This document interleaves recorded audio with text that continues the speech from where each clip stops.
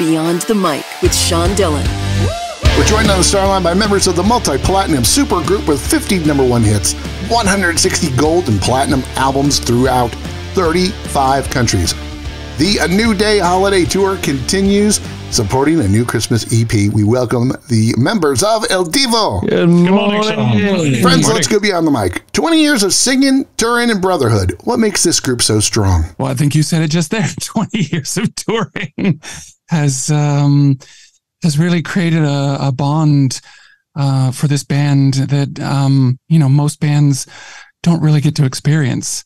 We've been through so many things from um, our inception, the recording process, being on TV shows, going on tours, world tours, um, and most recently, uh, a couple years ago, losing one of our band members, uh, which was actually probably one of the most bonding moments for the three of us.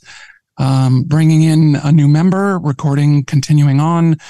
Um, the music needs us, the work needs us, so we just keep going. You've recorded songs in Spanish, Italian, French, Portuguese, Latin, English, and Japanese. Hmm. Why was it important for your identity to spread your music in this way? I think it's just uh, from the beginning on because on the first album we did a lot of covers. Actually, you know, we, we kept doing that. We also had a lot of original songs, but it was from the beginning on a way to set our version of the song apart from the original one. You know, our big hit where we started off with was uh, Toni Braxton's Unbreak My Heart, which in our Spanish version is called Regresa a mí. And it's a different song, you know, in Il Divo.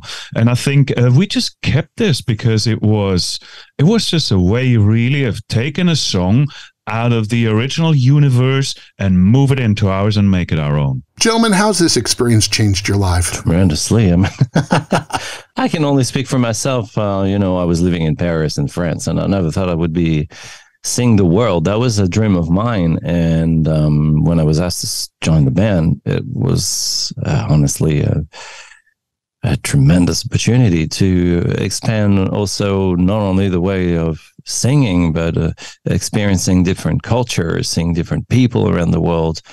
I think it has completely changed each and every one of us from where we're from and seeing things in a more, much wider way. Um, but not only just um, emotionally or spiritually, but also I'm talking musically, you know, the way that we approach our music, the way that we go on stage, the way that we perform. Um, Urs, for example, six, speaks six, seven languages, so can already uh, address to an audience pretty much around the world and uh, gets his way around. David speaks a few languages. Uh, the last time we were in Japan and we were uh, were both trying to, you know, he spoke really well uh, Japanese, and for me, I was trying to get my way through it. um, we're trying to really adapt to an audience as well to make them uh, understand that we really care uh, wherever we go we really try to make sure that they understand what we have to say, make them part of our music. They are on the New Day Holiday Tour. Il Divo joins us beyond the mic for the Rocking Eight. Friends, all this is is eight random questions. Answer with the first thing that comes to your mind. There is no pressure. Who dresses the best of the four of you? Or me. Really? That was fast. Thank you. Which one makes everyone laugh? Sebastian. Me. Why? Sebastian, because he doesn't mean to. oh dear. Of the cities you visited, which is the one you didn't think you'd like, but you fell in love with? Ooh. Oh, that's a tough one. Seoul, South Korea. Taiwan. Taipei, yeah. Yeah. Taipei. Pick one. Pick one. Uh, you go first. I don't know. Istanbul. Oh, that's a good one. I don't know. How about your favorite song to sing that isn't yours? Oh, Nessun Dorma. like a virgin. How about your favorite of all the albums? The Promise. I want to know what Stevens is because you're new. Uh, double X.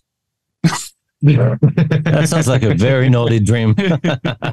Exactly. So who's the practical joker? David. What? True. You got to sing a lot. What's the best way to recover your voice after a night of singing? Sleeping. Going out. Shut up. Hydration. Who's the one person who influenced you the most? David. David. No, the, um, Ne- Nelson Mandela Oh, wow. and the Dalai Lama. Wow. I, I was not expecting. Are you trying to make us laugh again? No, I'm being really serious. Wow, can't compete with Uh, that. yeah. It's time for one big question with the members of Il Divo Beyond the Mic. Why does music touch your soul? Oh, that's not deep at all.